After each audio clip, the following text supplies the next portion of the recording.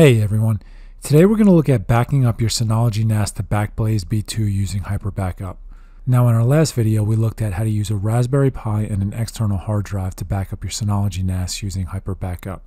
Now that process was a little different than this one, but it was nice in the sense that we were able to back up large quantities of data at a relatively low cost.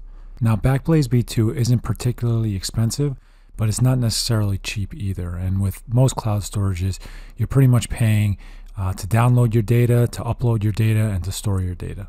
So I use Backblaze really just for the most important data that I have that I want to ensure I never ever lose. So to give you a little overview of what we're looking to do today, we're going to use Hyper Backup to back up our Synology NAS to Backblaze. Now this is something that's new because Backblaze recently announced uh, that they have S3 compatible APIs, which is something they, they never offered before. So prior to this, you had to use Synology's Cloud Sync if you wanted to use Backblaze as a um, backup destination. And Cloud Sync is slightly different because it's just syncing your files. So if you think of that process, if you sync your files every time they're updated, you're not necessarily backing them up. You're really just syncing them. So you really relied on Backblaze's uh, version history to be able to actually look at it as having a true backup.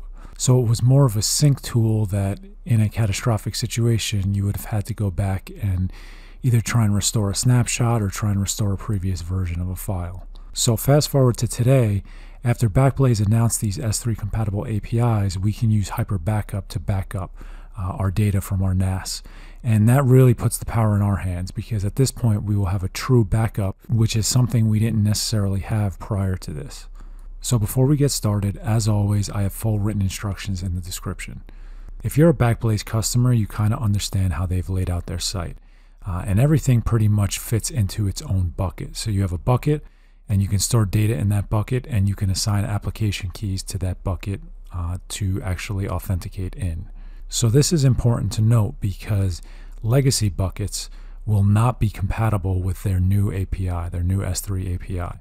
So you have to take a look at your existing buckets and see if they have an endpoint next to it. If it's blank, you know you need to create a new bucket. So if necessary, create a new bucket and create a new application key as well if your current application key is not S3 compatible. And you'll be able to see that at the bottom when you create one. If you do have to create an application key, make sure that you check off the box that says allow listing all bucket names including bucket creation dates. If you don't have this selected, you won't be able to see this bucket from Hyper Backup in later steps. After the bucket is created and the application key is created, you can navigate over to DSM and you can launch Hyper Backup and create a new backup task. Now the backup destination will be S3 storage and when you proceed to the next step, you're going to have to select custom server URL as your S3 server. At this point, your access key will be your key ID and your secret key will be your application key. When you select the bucket name, you'll be able to select the newly created bucket that you had just created in a prior step, uh, and the directory will be the actual file name that Hyper Backup will use when it's backing up to this destination. So before we proceed, one important thing I want to mention is that provisioning is not always immediate since it's a cloud service.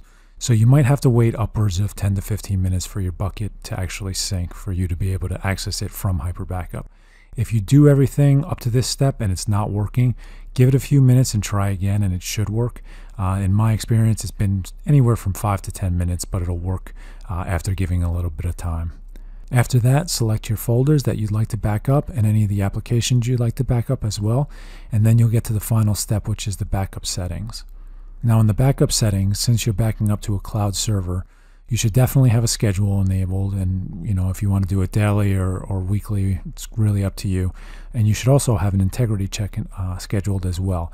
And this will just ensure that you're able to restore this backup if necessary. You should do this at least once a week. The last thing i want to touch on is client-side encryption. So since this is a cloud server you want your data to be protected and client-side encryption would allow that. Uh, so client-side encryption sets up that backup file that it cannot be accessed or opened without the password or the encryption key. So going into this, you know that only people that have that password will actually be able to access this backup file if it gets into the wrong hands. Uh, so that's the first thing. The other thing that I want to note is that for whatever reason, if you lose that password or you lose that encryption key, you will not be able to get this data back. So you have to really protect that data. You have to make sure you have it in a password manager somewhere um, so that you can actually access it if necessary. If you lose it, it's gone. After you configure these settings and the rotation settings, you can then back up your NAS. So depending on the size of the data that you're backing up, it could go as quick as a few minutes to a few hours to a few days. Uh, but when it's done, there's there's one important thing that I want to note. You always want to test to make sure that you can restore your data. So a true backup is great to have, but if you don't know that you can restore it, how good is it? So I'm quickly going to show the process where I just go in and I created a test folder with a few test files, and I just delete those files from the from the uh, the shared folder that I have, and then I go into Hyper Backup and I actually restore that data. And I have to use the password because I encrypted uh, I encrypted that that backup, but I have to use that encryption password. And when I do, you'll see that I can restore the files. And when I go into DSM into my file explorer, I can then view those files. So this is kind of a full end-to-end test where you're ensuring that you're able to back up the data and then you're ensuring that you're able to restore the data. And at that point, you know that this process is working properly. So once again, due to costs, this is something that you might want to keep to only your most important data. That's not to say that you can't back up all of your data. If you want to back up your entire NAS, you can. It's just that the costs will increase and generally it's not always worth it from a dollar perspective for everybody. But the process works, it works well.